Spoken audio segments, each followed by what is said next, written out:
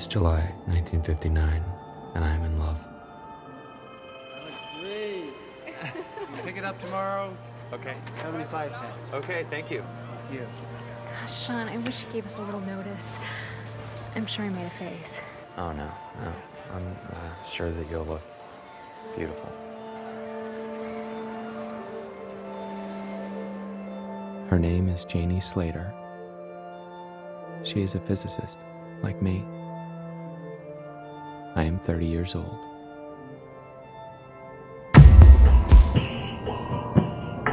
We were introduced by a good friend of mine from college, Wally Weaver. It is February 12, 1981. Wally dies of cancer, of which they know